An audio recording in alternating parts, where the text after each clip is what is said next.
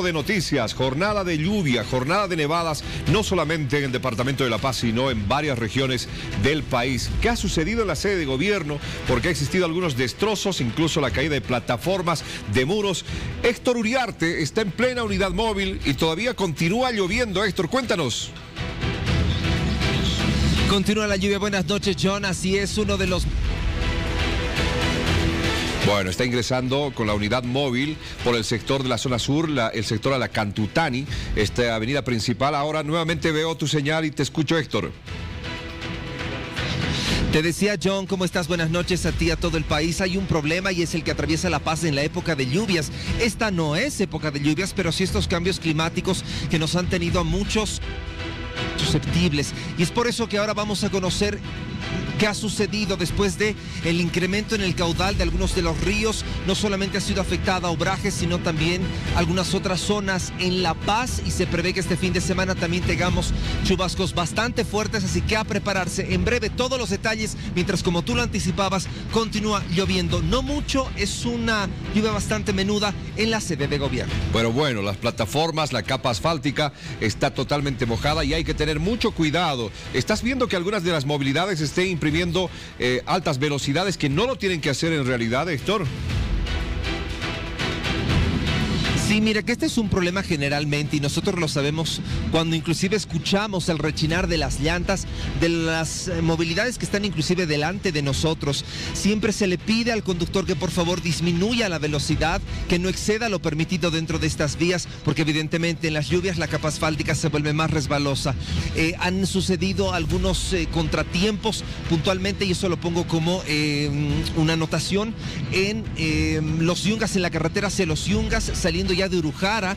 En algunos lugares estaba prácticamente cubierto de nieve y algunos vehículos han inclusive patinado. Y es por eso que la recomendación no solo va para quienes están en la ciudad, sino para todos aquellos que desean trasladarse a otro municipio en La Paz. Así es, tú lo has dicho. La precaución ante todo. Si usted va a salir con la movilidad, por favor, tenga mucha precaución porque la capa asfáltica, las calles en la ciudad de La Paz o los lugares donde está lloviendo y nevando, por supuesto, hacen de que exista peligro vaya con cuidado. Esa es la recomendación y le estamos mostrando imágenes rumbo a la zona sur.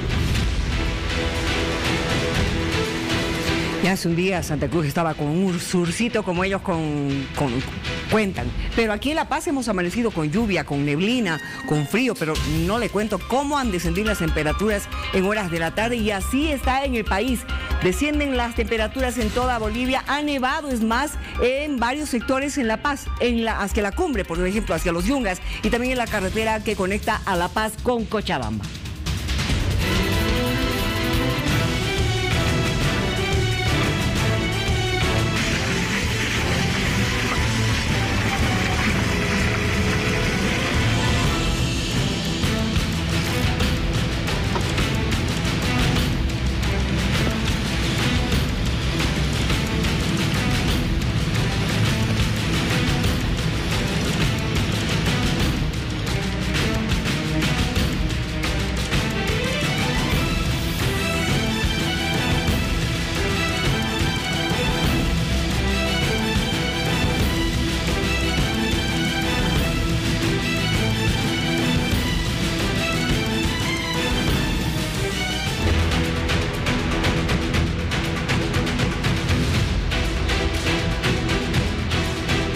Seguimos hablando del tema de las lluvias y las nevadas, algunas carreteras que se han visto, por supuesto, perjudicadas también por la caída de nevadas. ¿Cómo están estas carreteras? ¿Hay salida de buses en el contexto interdepartamental? Nos va a contar César Cárdenas, que está en la terminal.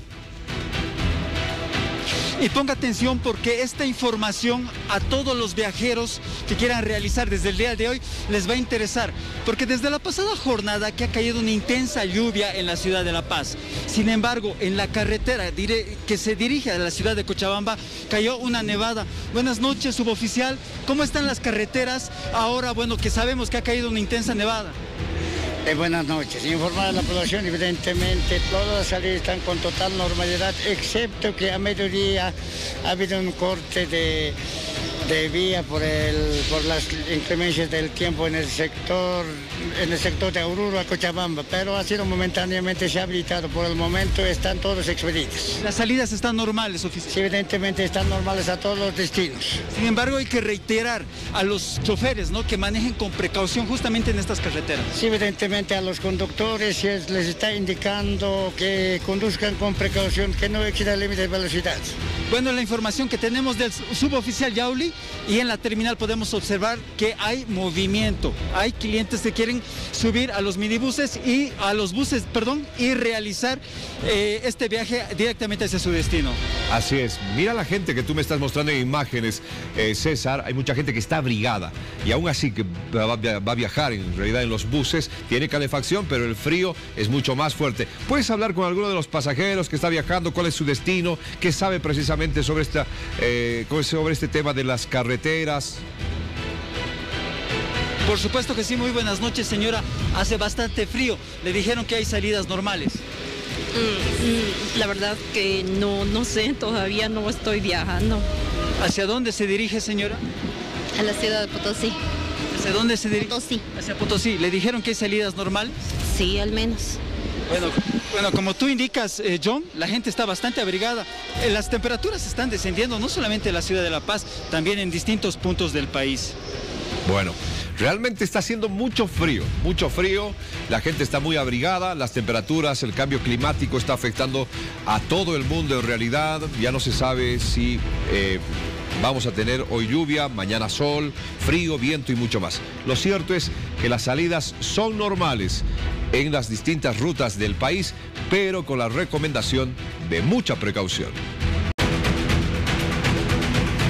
Hoy con la lluvia que cayó muy tempranito en la mañana, pues hubo problemas en la costanerita que está justamente entre la 14 y 15 del sector de Obrajes. A ver, Héctor, quiero que me cuentes algo porque había una duda, porque los vecinos decían, se ha caído el muro. ¿Tú me vas a confirmar si es verdad o no?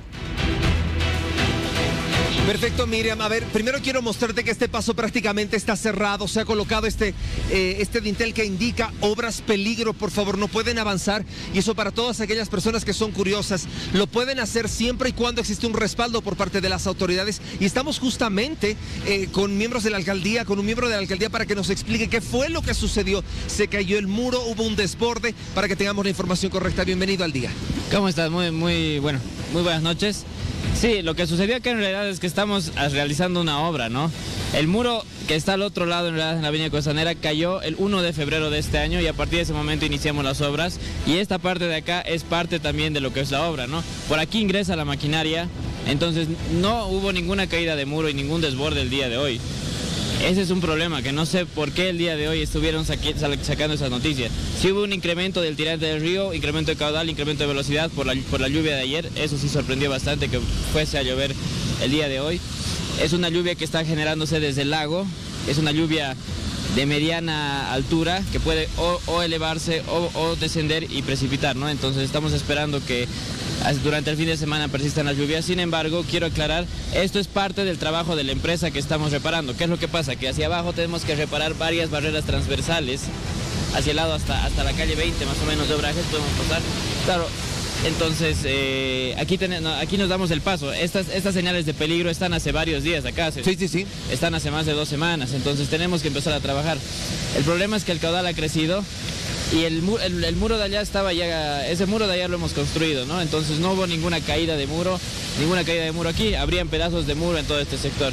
Sí hubo incremento del caudal. Hubo incremento del caudal, hubo incremento de tirante, eh, y sí, hubo inundación en Villa, pero no porque el río desbordó, sino porque los sumideros se volvieron a tapar esta mañana por la intensidad de la lluvia. ¿no? Mañana se han pronosticado lluvias, es probable, es lo más probable que eh, las lluvias puedan ocasionar que este y algunos otros ríos como el de Achumani, por ejemplo, también puedan elevarse. ¿Se están desplegando equipos?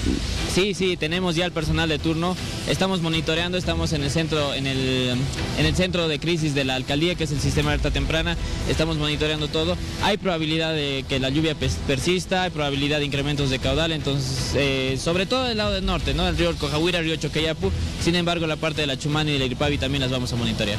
Muy bien, Miriam, no tenemos muy buena iluminación, pero quiero mostrarte una vez más, si eh, Max nos puede enfocar, por favor, cómo el río tiene actualmente un caudal bastante fuerte y tú puedes ver al momento del impacto que tiene el agua con las rocas que están acá en el río eh, Choqueyapu. Este es el Choqueyapu, ¿verdad? Sí, sí, Sí, el Choqueyapu.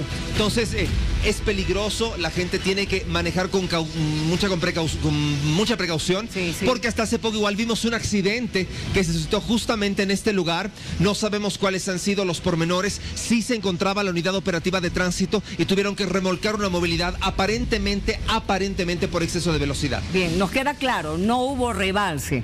Sí nos queda claro que hay incremento en el caudal. Posiblemente si siguen las lluvias va a seguir aumentando este caudal, evidentemente. Pero bien, están en trabajos. Tampoco caído ningún muro. El muro cayó en febrero. Y también la recomendación para los conductores, por favor no corra.